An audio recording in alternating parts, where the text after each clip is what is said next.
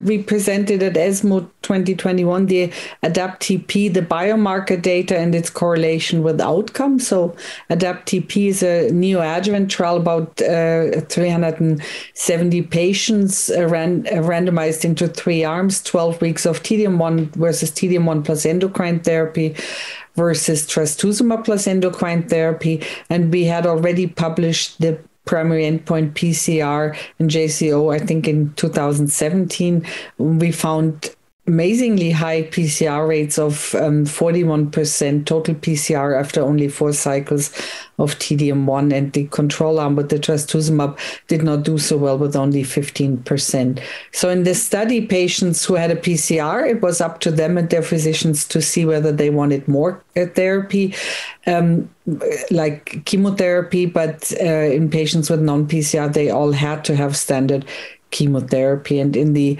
um, PCR patients, about a good third, I would say, um, um, opted for no further chemo. So last year at ESMO, we showed the survival data, five-year IDFS, and and we saw that PCR was predictive of outcome, and patients with PCR had a wonderful prognosis, independent of whether they got further chemo or not.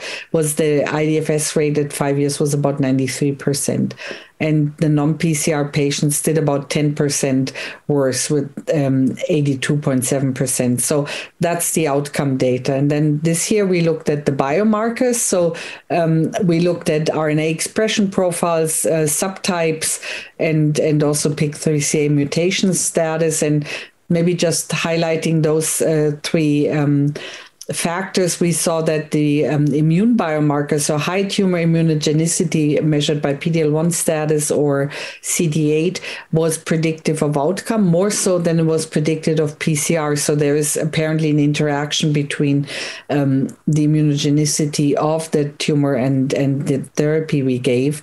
Um, and TILs were not as predictive. So I think that's interesting also for the design of future trials what we saw with regard to PIK3CA mutation was somewhat uh, surprising because in the metastatic setting from the Emilia trial, we know that PIK3CA mutation doesn't impact on the efficacy of TDM1, but in the early breast cancer setting here, we saw that patients with a mutation did worse with regard to PCR, but also with regard to outcome there. Um, five years um, IDFS rates was 88% in wild type and 80% in the um, mutated um, tumors. And for TDM1 only arms, the difference was even more pronounced with 90% versus 68%. So that is something that is interesting, and we need to sort of see whether that's true just for um, TDM1 or whether that also is true for TDXD. And we have another trial, um, the ADAPT triple positive 2 trial.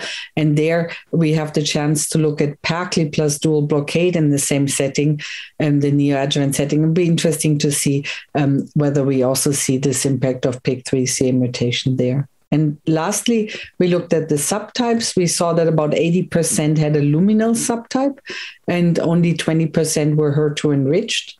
And we saw that in the um, luminal A patients, they didn't have such a high PCR rate, but they had the best outcome with the um, five year IDFS of about 90%. So the conclusions we drew from that was that if you want to do these de escalation trials, maybe in luminal A molecular subtype, it's important to look at PCR and outcome for um, making definite decisions. Whereas in the HER2 enriched, um, had a much higher PCR rate, but not such a good outcome overall. So maybe there the PCR rate is more um, predictive, and we can do escalation and de-escalation after we see the PCR. So our conclusions from the trial are mostly for the design of, of future trials. But uh, if you look at this data together with the data we uh, presented last year at ESMO, I think we can safely say that these de escalation